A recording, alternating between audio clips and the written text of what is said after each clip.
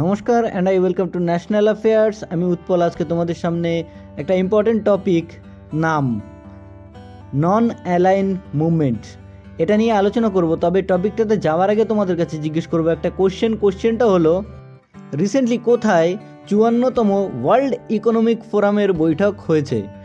Recently ওয়া fifty fourth summit of World Economic Forum held তো তো এর উত্তরটা করো তোমরা কমেন্ট সেকশানে যার উত্তর সঠিক হবে তাকে দিয়ে দেবো একটা হার্ট রিয়াক্ট এবং তাতে তোমরা বুঝে যাবে যে কোনটা সঠিক উত্তর এবং এর উত্তরটা আমি চেষ্টা করব ভিডিও শেষে দিয়ে দেওয়ার। তো আজকে আমাদের যে টপিক সেটা হলো নাম। আমি আগেই বললাম নন অ্যালাইন মুভমেন্ট তো উনিশতম নন অ্যালাইন মুভমেন্ট সামিট শুরু হলো কাম্পালাতে কাম তো কাম্পালাটা হলো উগান্ডার রাজধানী, ঠিক আছে? উনিশে জানুয়ারি এবং কুড়ি জানুয়ারি এই দুই দিন আয়োজন করা হলো নামের সামিট, বৈঠক।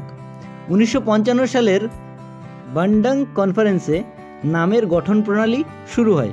পরবর্তীকালে উনিশশো একষট্টি সালে সার্বিয়ার বেলগ্রেড শহরে নামের প্রতিষ্ঠা করেছিল।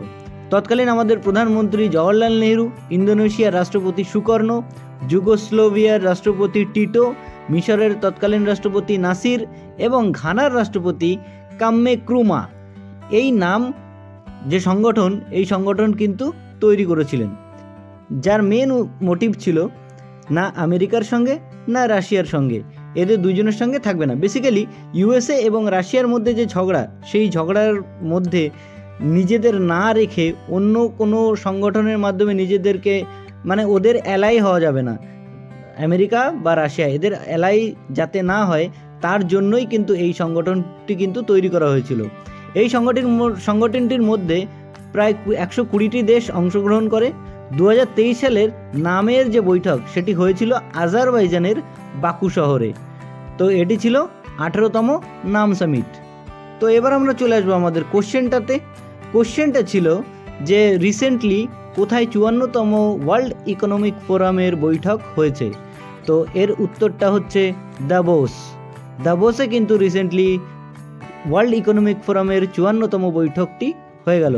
তো এই ছিল আমাদের আজকের টপিক আশা করছি তোমরা বুঝতে পেরেছ কেন নাম গঠন করা হয়েছিল, এর উদ্দেশ্য বা কী ছিল।